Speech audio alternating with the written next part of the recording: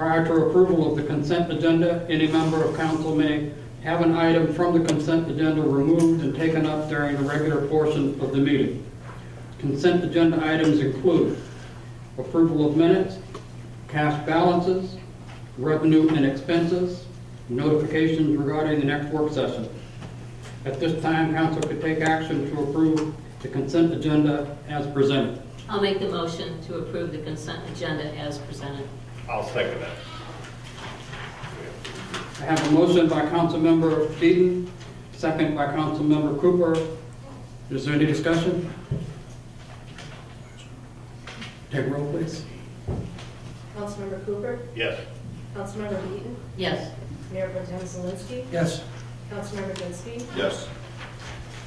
Councilmember Whitliff, Yes. Councilmember Pontiac, Yes. And Mayor Smith. Yes. Motion approved. Thank you.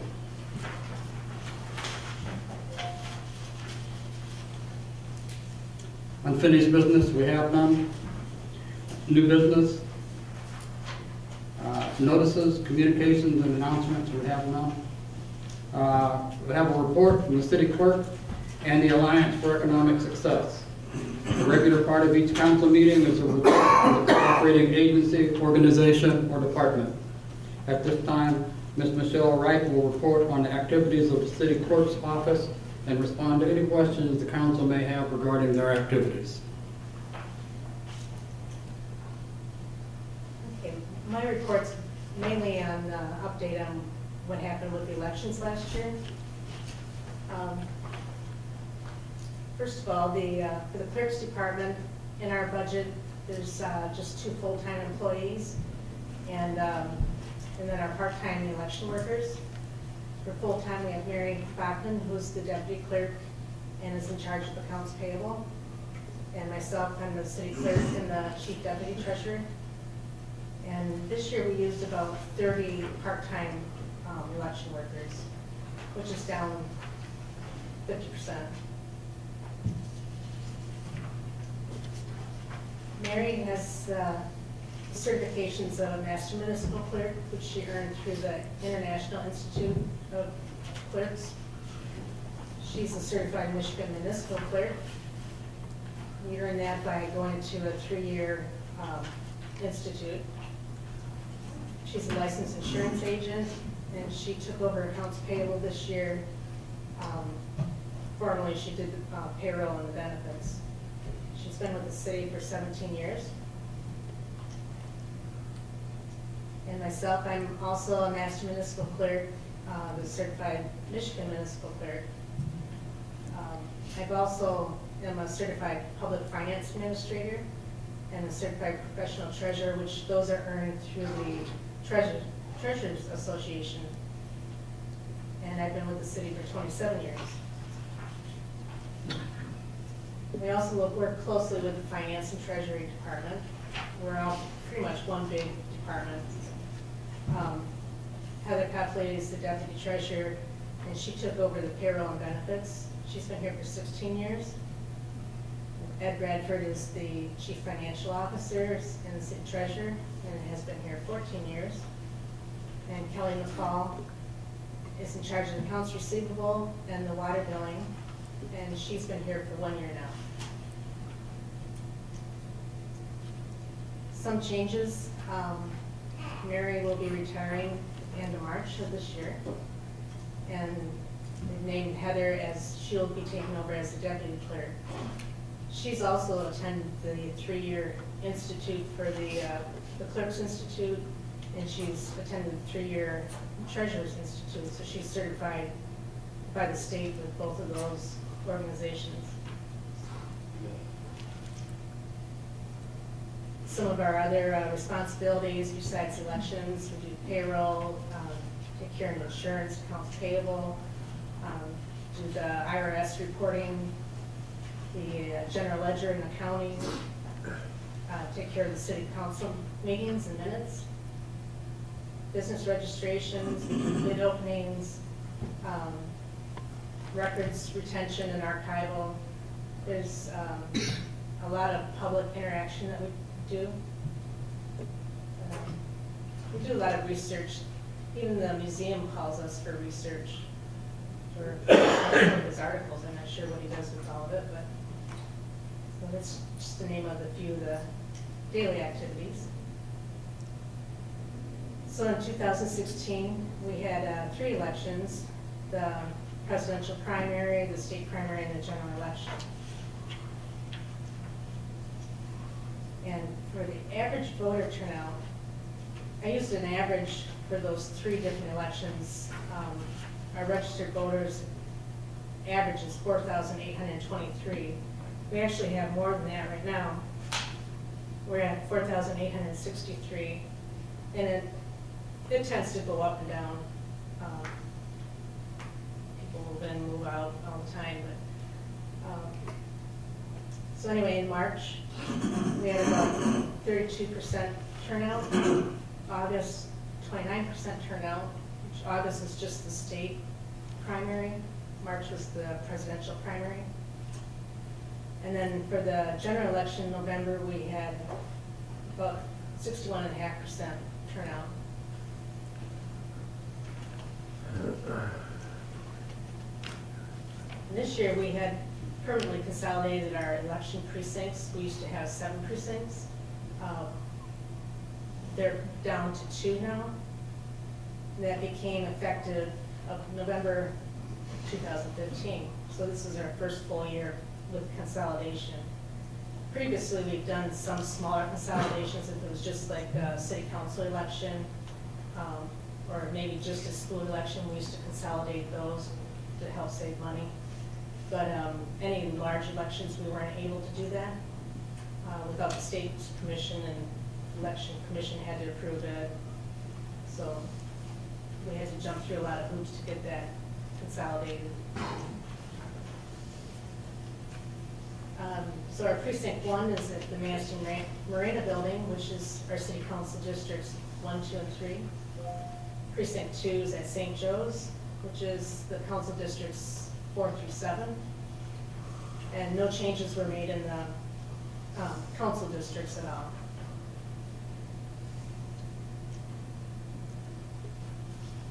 So I thought I'd show you some of the historical costs. Um, You start at the bottom, in November twen- 2012 was the last presidential election, that cost us about $9,000. Um, In 2014, those were the state elections. They're a little bit cheaper, but they're still $7,000, $8,000. That's with using all seven precincts. You have to hire, um, you'd have to have at least four people. State regulations, you have to have three people at each precinct working. We would try to do four to six, you know. Um, Some people can only work part days and, so anyway, we were able to cut down the number of workers, um, the number of uh, supplies we needed, and the amount of program we needed is all been reduced. So this year, our cost for March was two thousand two hundred dollars. Um, August and November, about forty-eight hundred dollars. Um, November, I'm not, I don't have the final total, but I rounded it up, I, I figured it's gonna be close to the forty-eight hundred. So if you look at the screen before, November two thousand twelve for the uh, presidential election was nine thousand. We're at forty-eight hundred, so we cut it down significantly. Just for the wages for the election, this does not include my wages or the deputy clerk's wages. Um, We budgeted, trying to estimate it, we budgeted at three thousand for each election. Uh, the actual cost was uh, six thousand one hundred seventy-four, so I was over hundred seventy-four dollars, but for the first time doing this, I was pretty pleased with the, the number it came out at previously it was $6,500 each election, just for wages. So we um, saved about 52.5% on that line item. And next year is a small, or this year now, is a small year for elections, uh, possibly a school election in May, and then our city general election in November. Uh, I haven't heard of anything else throughout the county you know, being talked about yet. With that, do you have any questions? There were a lot of issues um, this year with the potential for a recount where uh, precincts couldn't be recounted because things didn't match up. Did we have any issues here? I don't believe so. Once we started using receiving boards, which the precincts, they bring um, two members of each um, election board. They bring theirs, the bags, the, the equipment, and all the uh, um, results at the end of the night. They bring it here to City Hall. We have a receiving board, so it's another fresh set of eyes to make sure that, you know, went through all the filled in all the blanks that they need to for the end of the night and make sure everything's sealed up properly. Um, We don't know that, you know, nobody checked it other than us, you know. We felt confident that they were, would be recountable if it need be. But the final say would be if the county and the state had to come do that recount. And um, I don't see any reason why there would not there should have not been any reason not to be counted. Okay. Is there any backlog or, or or delays for people voting with the consolidation to two uh, precincts? From what I've seen, when I checked the precincts, they moved along quite well. We, um, we did a lot more absentee ballots this year. Um, We actually sent cards out, postcards offering people the option, you know, if they're 60 years old or more, giving them the option to uh, sign up for absentee ballots.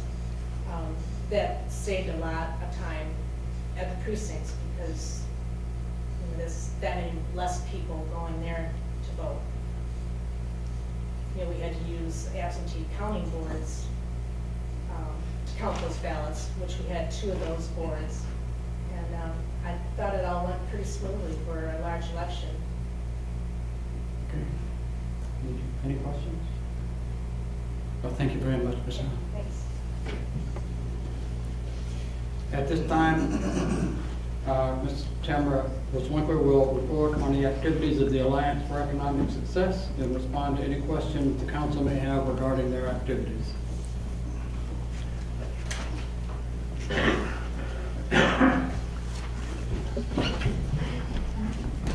Good evening. Um, I'm actually not here alone. I've got Betsy Evans, our Business Development uh, Director, and Eric, who's on our board. So we've got an AES, AES team here tonight to, to talk to you and to give you um, an update on all the wonderful things that happened in the year 2016 at AES and talk about what's going to happen in 2017. So um, Betsy just uh, gave you some paper because I know sometimes it's nice to have it in front of you and you can take it home and look at it. But one thing I want you to look at right now is the 2016 work plan.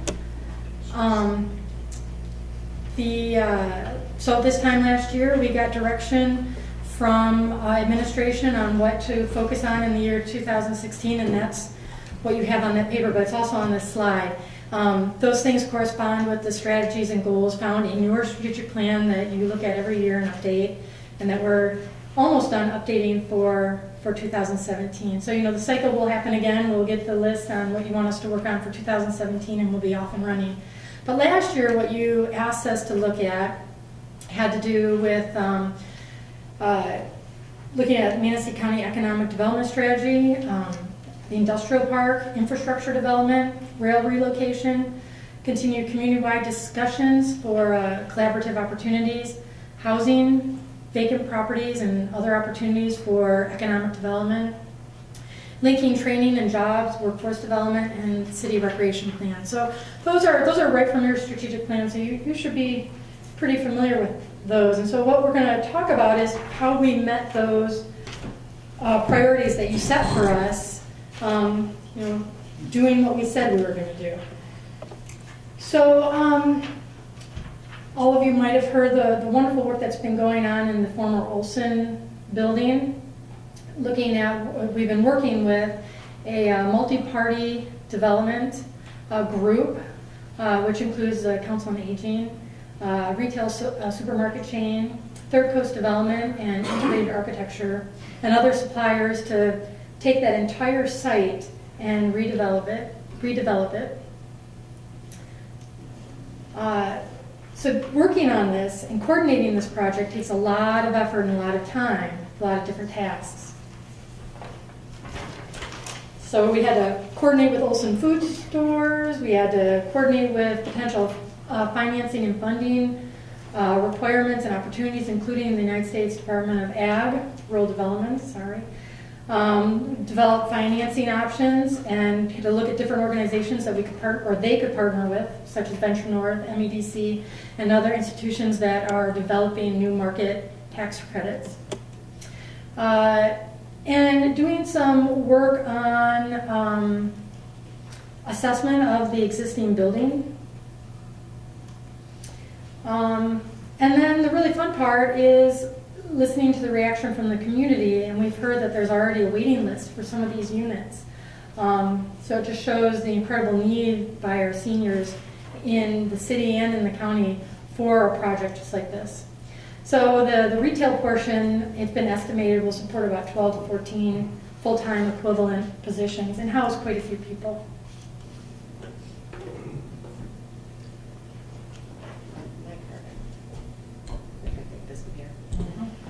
Um, so the business attraction, retention, and expansion, uh, some of it's confidential, some of it not so confidential. So um, if I'm vague, it's, it, it's intentional. Um, so in the early stages of two projects uh, with national and regional in, uh, interests um, that would employ 25 to 30 full-time equivalent positions. So we can't speak about the development at this time, but we're looking at two uh, separate projects that we hope will, will employ up to 30 people. Um, we have uh, some folks that are interested in opening a, potentially an Italian restaurant in the downtown. Um, we've been working with a few different restaurateurs about the Boathouse restaurant and trying to fill that space um, with a, a, a, new restaurant.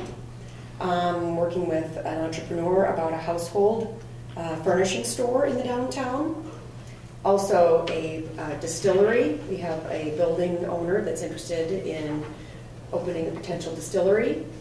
Um, a resale store, which is in the city right now, but is looking to relocate downtown. Um, and also um, a jewelry and wearables retail, opening a new spot in the downtown. And then we've been working with the Happy Owl Bookshop and um, Kit and Cynthia from the Music Vault.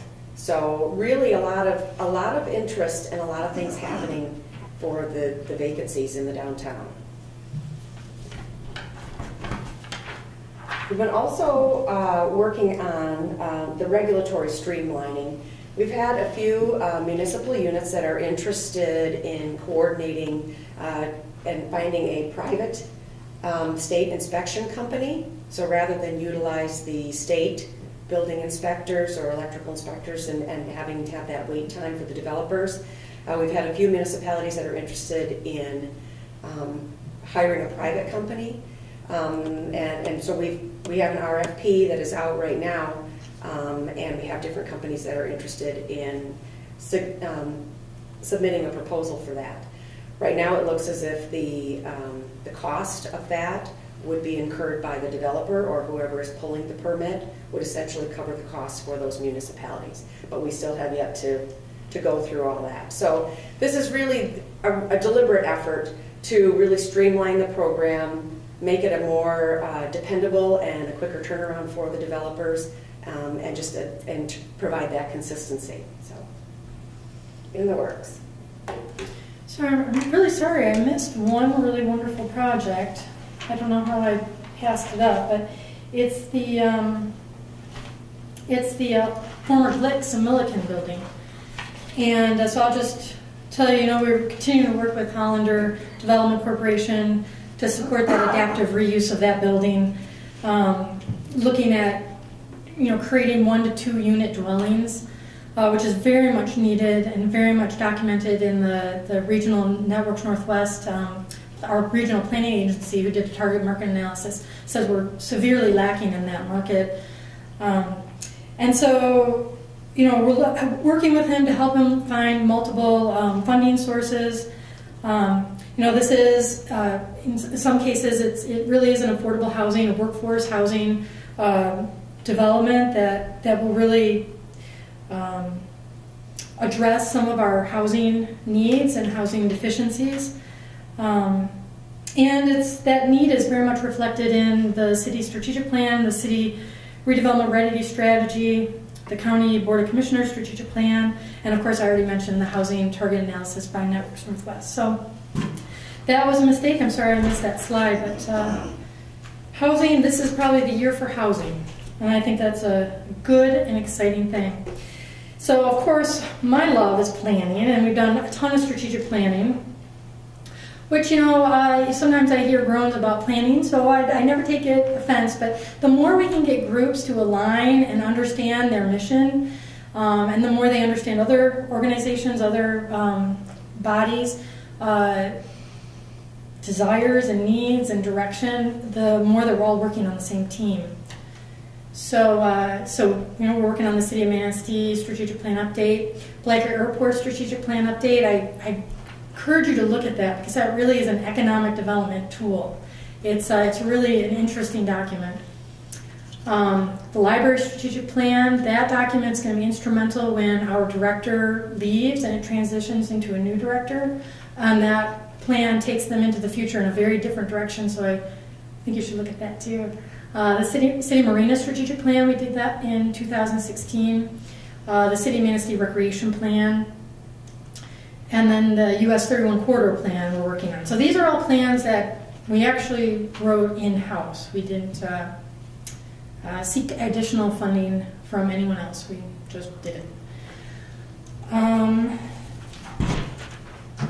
so, you know, there's other regional planning uh, efforts underway that, uh, you, know, can't have a strong region without a strong city. You can't have a strong city without a strong region. So all of the, this work that's done in and around uh, Manistee feeds off each other and supports each other. And so the manufacturing strategy, which Betsy has been working on and ushering through, is, takes a really hard look at our manufacturing base and, and where that is and where it needs to go and how we can help it. Um, same can be said for the Stronger Economies Together uh, planning effort that, that is also done, and these two documents work together to really look at our industries and help guide us into the future. The Broadband Initiative, um, that, you know, you've heard me talk about that before. We're still working on that. The, the survey is closed. Now the next step is to, address, or to attract uh, providers and then get those providers to put in the infrastructure. The US 31 corridor plan, uh, that is really going to help position our uh, commercial property and residential property along the corridor in a way that, that uh, is far more productive maybe than what it is right now. And then um, the M22 Pure Michigan Byway designation, it seems like M22 is kind of far away, but it's not, and it attracts a lot of attention and a lot of folks to the region. But our Visitors Bureau was already able to use that designation to get access to other programs that, that they were not able to get to before this designation. So that's only good for uh, the city. And then the Regional Resource Recovery Project, that's the recycling project, that's a regional one. Um, obviously very, very important for uh, our sustainability and stewardship. And then, you know, the, out of the city and the county recreation plan, trails, no matter what master plan, strategic plan, whenever you talk to residents, trail, trail, trail, they want trails. So that committee work, uh, meets once a month, and they are looking to connect the city of Manistee through trail system to the rest of the county, and, uh, and they are working very hard on that and fast and furious. So we also thought we would take a moment to talk about the AES strategic plan. So we do it too, and we follow it. Um, this year we did an update. And, but we did something different, and, and it's kind of interesting because we may start using the same kind of ideas in other strategic plans. Um, basically, you know, you guys know what strategic planning is all about. You're looking for issues and opportunities, you're looking at priorities, and you're trying to figure out a course of action to implement it. Um, of course, at AES, we have three pillars business and job development, community development, resource development. Everything we do falls within those three categories. But what we did this year, which is a little different, is we're looking at the, the seven sources of uh, community capital, and we're going to talk about that a little bit as we move through the presentation. So we looked at our vision, or our mission, and revised it slightly this year to just simplify. It's really to just provide business, community, and resource development services to yield economic and community development results. But what's really is key is that it's driven by the local priorities. They are not our priorities, that is, it is by the local municipalities and the communities that we serve. And then our vision is for a sustainable, prosperous communities that are supported by forward-looking strategies that unify the communities, resources to achieve the community goals, and also employers, employees, and a skilled workforce that are diverse, dynamic, and evolving to respond to market conditions.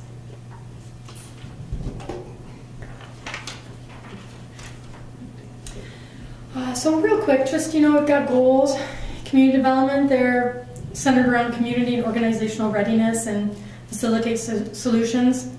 Resource development. It's all about financial resources, local priorities, and uh, you know, responding to local uh, priorities and removing any barriers, uh, and workforce development. And business development, really one-stop service, so developers have that predictable, reliable um, environment for them to do business in, and business expansion and attraction based on data, which is really important because we could all want something different, but uh, if it's not meant to be, it's not meant to be. But you look at data, and that's that helps guide you. Guide you. So um, you know we've got to have partners uh, to help us do the work that we do, and uh, so you know we work businesses, local units of governments, state and federal agencies, tribe uh, regional organizations, nonprofits, foundations, education, everybody and anyone will work with us to help forward the priorities of the communities um, that come to us for, for assistance. So when I talked about that seven uh, sources of capital, they're financial, built, natural, human, social, cultural, and political. This is where it's a little different. This is where we're going to start going to. Financial is about investment capital.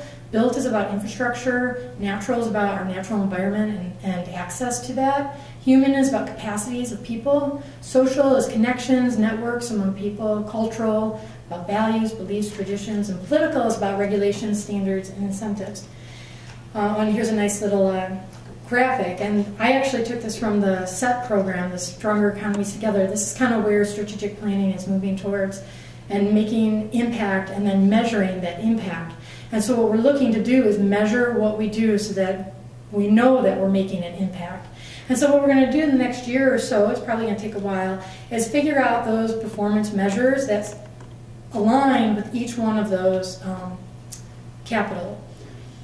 So, you know, if we're talking about uh, the built environment, what kind of infrastructure have we put in? If we're looking at human, uh, you know, have we met uh, educated, do we have an educated, skilled workforce? And really, what does that, that mean? And so those are the kind of discussions we're going to have.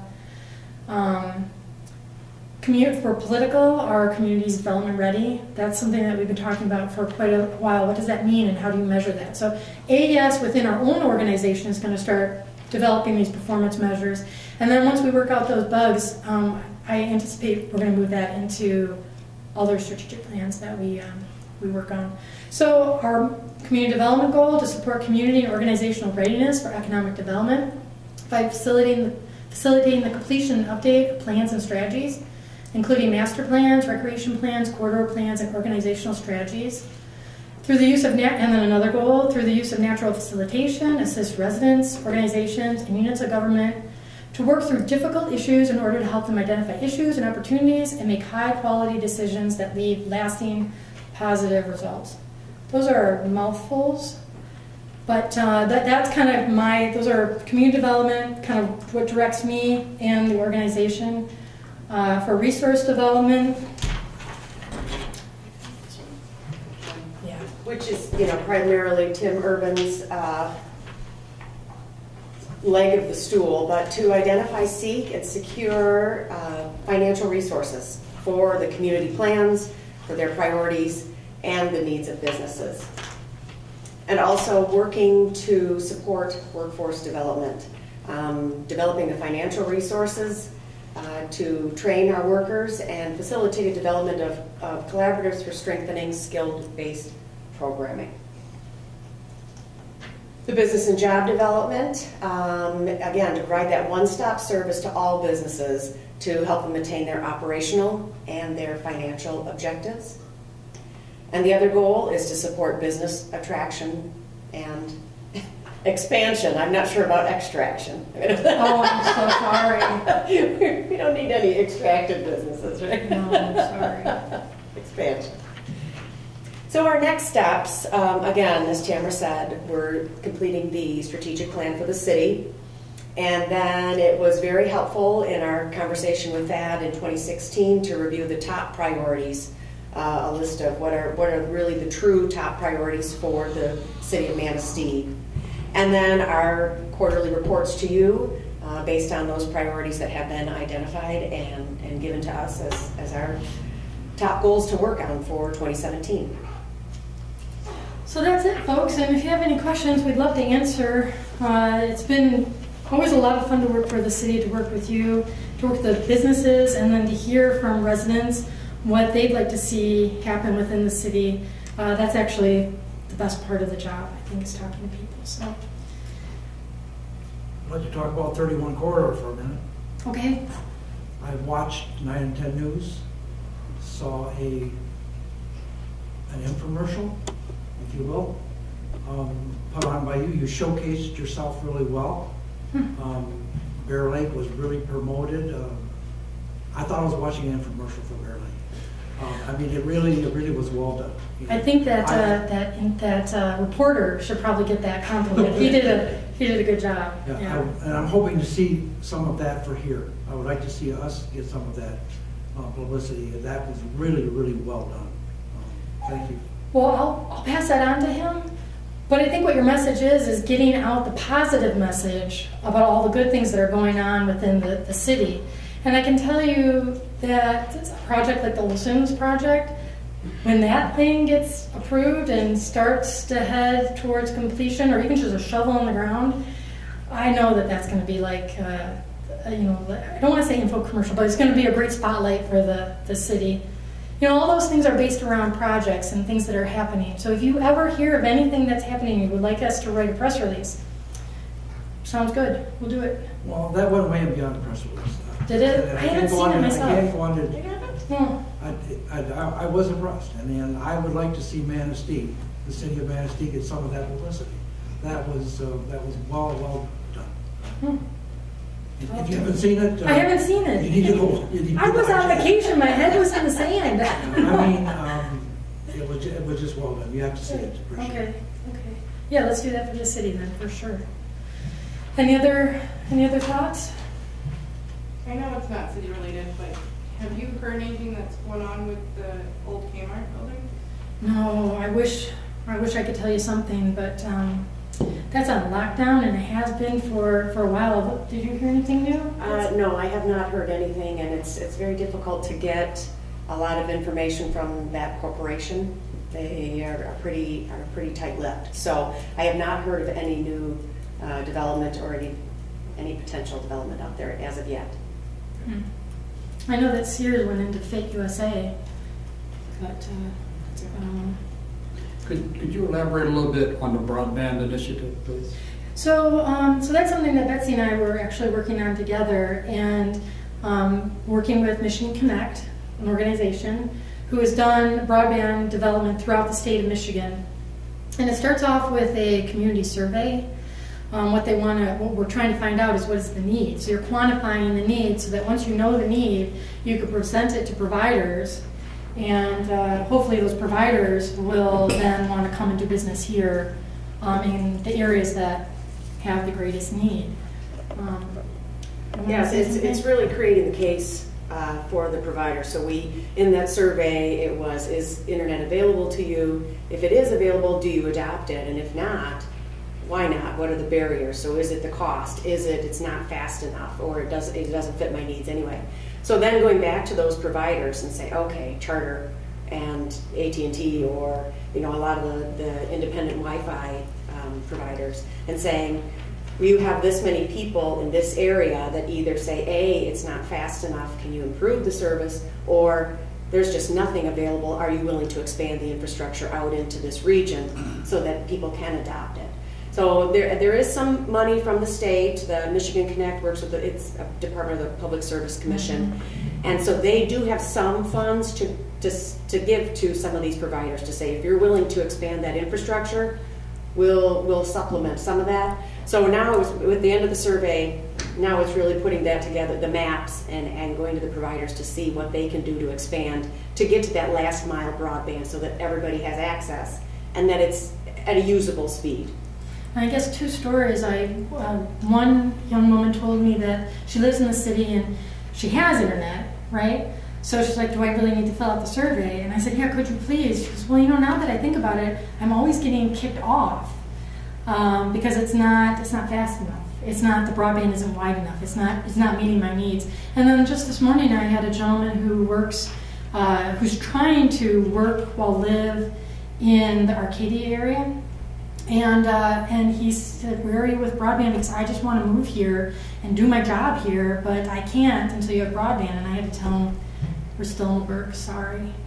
Um, so that's not an unusual story, actually. Somebody wanting to work from home but can't because we don't have the broadband. So hopefully it will make changes. When you talk Arcadia and, and we look at other communities around here, just, just how big of a footprint are you, are you trying to encompass with this initiative? Well, it's all of Manistee County. The initiative, uh, so through Michigan Connect, all of Manistee was surveyed, Benzie County was surveyed, Leelanau County. Who else? that Those were from our region, those were the three that were taking place right now. So Benzie County finished up their survey a little, uh, a little before Manistee. So now um, they've kind of put together the report for Benzie, now they're putting together, the Michigan Connect is putting the report together for Manistee County. Uh, Because I know our DDA has that as, as one of their initiatives and goals also for the downtown district. Oh, for a public Wi-Fi? Hmm, okay. Any other questions? comments? I have a couple. Tamara, I want to thank you for, for telling us about jobs. I'd like to hear that in your report, so I'm very pleased to hear that we're going to get 12 and 14 jobs uh, in one area, another 25 to 30. Um, And maybe you can't talk about this, but there is supposed to be some retail space on the first floor of um, 400 River Street, which is, we call it the Old Lakes Building. Okay. Um, Have you heard anything about that and what kind of jobs might be? Well, we have heard that uh, specifically on the corner of, of Maple and, and River, there'll be the commercial, the retail component. Right. And uh, I think it's probably too early to find out who, but um, uh, but I bet it will be gobbled up really quick. Because don't you think that's just like a high viewing area? Well, I hope Um, so. For Yeah. sure. Yeah, you know, the, the retail on the first floor and residential on the top floors is the winning combination mix that is successful. You know. Any other questions or comments? Cool. Okay, well, thank you. Thank you very much. Thank you. Oh, I have one more. Is there any way you can email this presentation that you have up there there to us? Sure, no problem. Because we don't have any copies of it unless you email it to us. Sure, but just, so absolutely, I, I definitely will, but what I gave you, one of those papers, it's, it's the same stuff, it's just easier to read because it's on two pages, but I'd be happy to give you the PowerPoint. That would be great.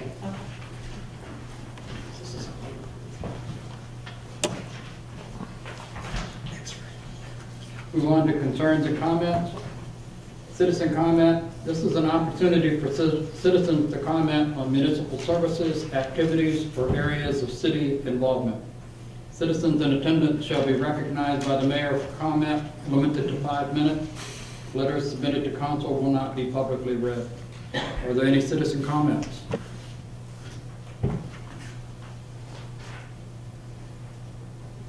If not, we move on to officials and staff. City clerk? Nothing, Your Honor. City manager? Nothing, Your Honor. City attorney? Nothing, Your Honor. City finance director? Nothing, Your Honor. Public service. Uh, it's safety. Yeah. Uh, Public works.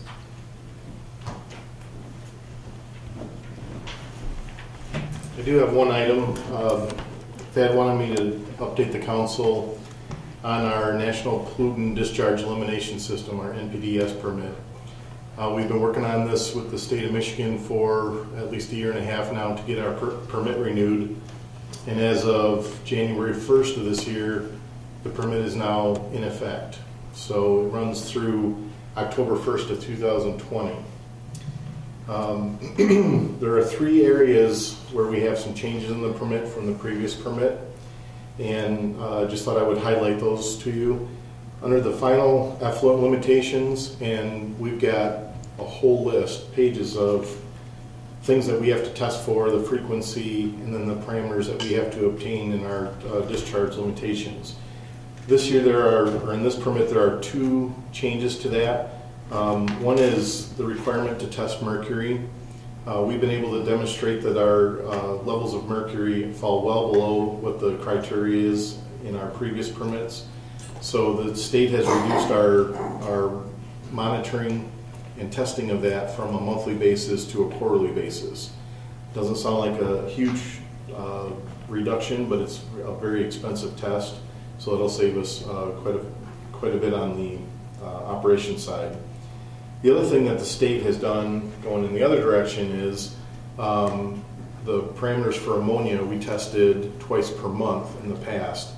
This permit requires us to take five tests on a weekly basis. So we're going from two a month to 20 a month. What we expect that means is they're setting the baseline parameters of what the, our effluent and what the treatment plant processes, and we'll create a baseline, and then we'll add a, a future regulation on how much we discharge, because today that's not regulated, it's just tested and reported. Um, And that's typically how the, the department goes through those changes. The second item is, goes back to our combined sewer overflow, as you guys are well aware. Um, With this permit, the City of Manistee sewer system is officially no longer a combined sewer system. All of the, all of the combined sewers have been separated, so we have a separated system now. We still maintain an overflow point at the, at Ramsdell and Fifth Street. And so during heavy wet weather flows where the system is overwhelmed by additional water, um, there is still that potential to discharge. In 2015, we had nine of those events where the levels got high enough and it discharged. In 2016, that is reduced down to four events. Some of that is taking inflow and infiltration points offline. Some of it is just the precipitation and the, the way that the rain falls and the snow melts. Um, some of it is, uh, we believe, the cleaning of the pipes, the heavy cleaning that we've been doing through our uh, SAW grant has probably added more storage within those pipes. And we think that the word that's been getting out and all the publicity that we've talked about on the illegal connections and the roof drains and stuff like that, we think that there's been some self-compliance um, from either different uh, commercial facilities or residential facilities. But all of that is trending in a positive way. Because we still have the potential to discharge, the state of Michigan has required us to develop a wet weather correction, corrective action program, or a CAP. The corrective action program um, has several different milestones in it. And the first milestone was today. So two days ago, this permit took effect. Today, we had to make our first submittal. And Spicer Group has spent tremendous amount of time getting this ready for us. But this is several pages of kind of a list of all the things that we are going to do in the next uh, four years to bring the system back into compliance. So today this draft was submitted to the state. They've got a period where they can review it, make comment, and we'll make some changes to it. Um, a year from now, we will submit a progress report to the state that identifies where we're at within that corrective action program, how things, you know, things that we've discovered, the progress we've made, and then any additional uh, modifications to that program moving forward. In July, July 1st of 2018, we are required to submit a basis of design. So between now and July 1st of 2018, we have to come up with a plan of how to get the rest of the water or a substantial amount of water out of the system or be able to store and then treat, treat that water, okay? So in July, we submit the basis of design. Again, the state, each one of these steps, the state has an opportunity to review, comment, and ensure that we're headed in the right direction. By March 1st of 2019, we have to have plans and specifications for whatever those projects are submitted to the state, and then by permit, we have to be under construction for those projects by July of 2019. And then construction has to be completed by November of 2020. So that gives us basically three, a three-year process. Um, After the construction is completed, then we go through a period where we identify how those, how the system has reacted to the construction projects and the improvements that we've done. And the, the ultimate goal is to be able to certify that the system uh, can handle the wet weather flows and then there's no longer a need to have that overflow at Fifth and Ramsdell and decommission that. The third item that is new to our permit is the requirement for us to uh, complete a asset management program. Now, that is something that the state is doing with all the sewer systems across the state of Michigan. We anticipated that, so when the state gave the opportunity uh, for the SAW grant, we stepped on, or jumped on that several years ago. Luckily, we were successful in getting that $1.9 million, and so we're, we are well into the process of uh, inventorying all of our assets, and the next steps will be to um, compile all that data and then come up with the asset management program so that we can forecast out when items need to be replaced, when capital improvement projects are to happen, and so forth. Um, We will make this, this permit has been uh, public notice for, was it 60 days? Did you look that up? I believe it was 60 days. But we can make this available on the city's website if that's of interest, and we'll certainly make it available to you through Dropbox as well. Any questions? I have some questions about, about that. Um, How is the um, ice rink coming? It's coming, it's very wet. Um, We, it freezes at night and it thaws during the day, uh, but we do have a, a it's all ready. Everything's ready. Um, We had some problems with the noodles around the top that were blowing off. The guys came up with a very creative system to hold those down. Uh, Mr. Zelinski was familiar with that issue last couple years. If you take a ride by there, they came up with a brilliant system on how to keep them down. Very low cost. We're excited that we made that improvement. Um, We're going to start moving down the flooring for the teen center and the, the the uh, skates. Um, So we're just waiting for some cold weather and then we'll, we'll open it up. And then have you had any issues with water when it freezes yet? Uh, No. Frost is two feet in the ground already though, believe it or not. The, the dig jobs that we've been doing to repair just normal water services, the guys are finding that the uh, frost is at least two feet below the roads. They gonna let volunteers remove the snow off of the, the ice rink this year, or are they gonna, the city gonna do that? We would certainly welcome any volunteer help for those efforts. Um, We're going to try a little bit different winter schedule with our night crew this year. Uh, The shift is going to begin actually this upcoming Sunday, and we're going to have those guys working from 8 PM to 4 AM. So uh, I think that should help a little bit in, in getting us some better manpower to help out with, with getting the snow off of the rink. But, you know, when it's really snowing, we're out doing the rest of the city, so. We're talking, we're supposed to get quite a bit in the next, rest of the week. Right. Um, and it's supposed to be really cold, so it ought to make some ice. But I did see some people skating. Out there, did you? Yeah, they were out there skating, yeah. Yeah, today it's all water. Uh, we, we probably had a good half inch, three quarters of an inch ice on Thursday, um, and then it, it all melted, so.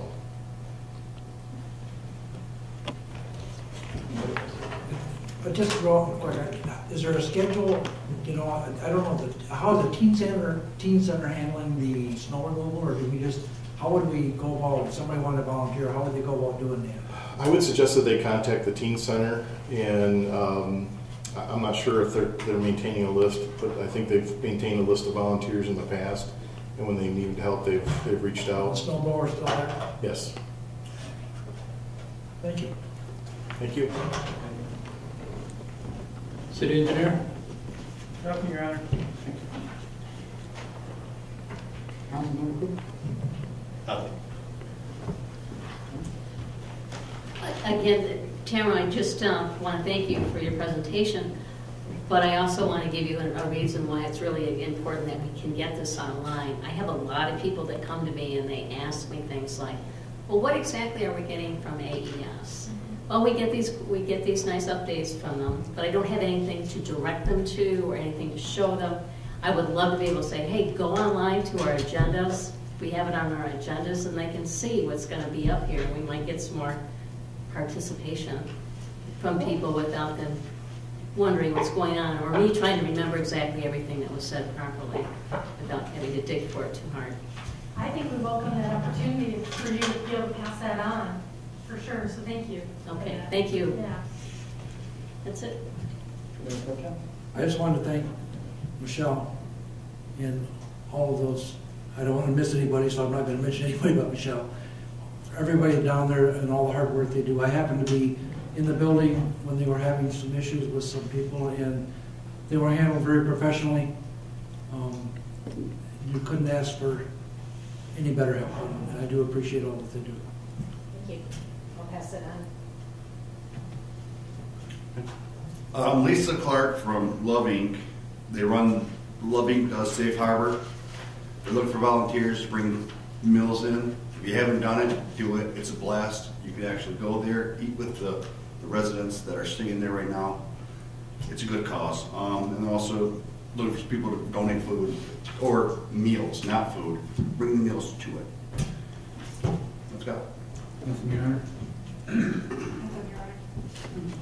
Uh, I'd like to thank Michelle, the, uh, your election crew um, does a phenomenal job. Uh, I'm I'm glad the consolidation has worked out, and it's really wonderful to see the expenses down uh, from what they were in 2012. Wonderful job.